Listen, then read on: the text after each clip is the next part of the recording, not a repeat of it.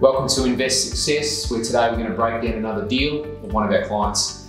So this client came to us with borrowing capacity in place. What we did was financially evaluate that situation. Uh, what we found was that the capacity was in place with the wrong financial structure. So what we did is went back to the lender, sorted through that, and came to a better realization to have them focus on the investment performance at a cash flow level to help pay down that non-tax deductible debt, which we'll go through shortly. So the next step for this investor was to go through some location research, some fundamentals as to why we should be purchasing in certain locations. So this particular investor wanted to purchase close to home here on the Gold Coast, but the restriction that he did find was that his borrowing capacity was likely going to lead him to potentially a unit or a townhouse. Now, was that the best investment decision for him?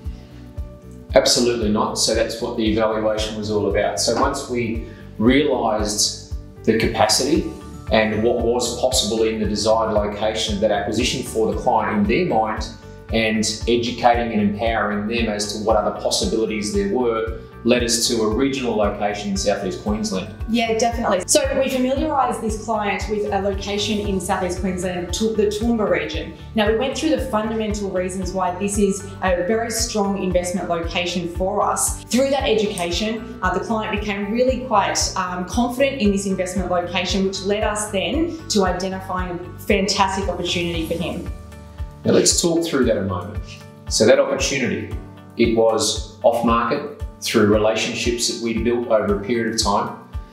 What else can we talk about? Yeah, definitely. This was a fantastic deal. And I mean, if you had one of these, you'd have a client for it every day or an investor who would like to snap this up every day because, as Mark said, this was through building these on the ground relationships with agents. So after a call with this agent, what have you got for me, Josh? What have you got for me? I've got a client ready to act. He's finance approved. He wants a low maintenance, brick and tile, set and forget investment that's in a high growth location and it's going to achieve great cash flow.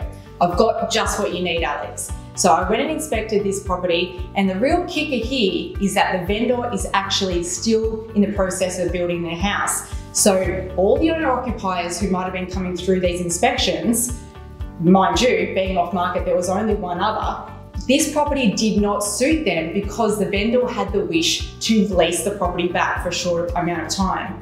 So we've done a deal here where we've been able to have the vendor agree to lease the property back for a period of two to three months. Now you might be asking why this is of benefit to an investor. Well, when you think about when the cash flow or the rental income might start to roll in, when our client settles on this property, he's going to be achieving cash flow absolutely immediately. So what are the numbers? Let's talk about that. So you talk about opportunity analysis, we're reviewing the location, the type of property, start to talk about the numbers. What do they look like, Alex? So this one was offers over 449. So we went in pretty close to that at 455,000. We did have a little bit of wiggle room in our budget, as we know. The, uh, the client had a borrowing capacity of 500,000. The vendor actually counted us at 470,000. We stayed pretty firm though, and we only lifted to 460,000. And there on that day, we got the deal done.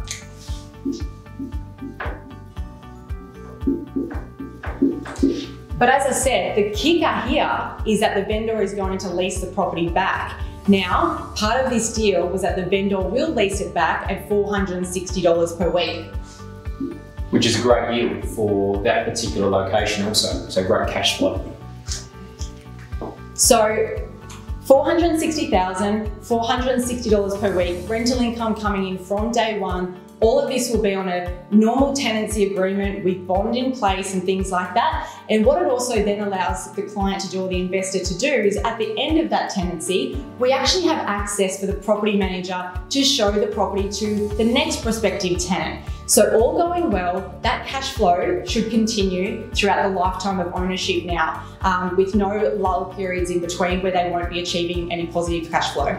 And the good thing is we've validated that. not just purchased the property off market, we really validated that number for when the existing vendors leave based on the current leaseback option, that we're going to be confident in achieving that ongoing and beyond for the client also. So, resulting in stress free investment. And that's what this is all about.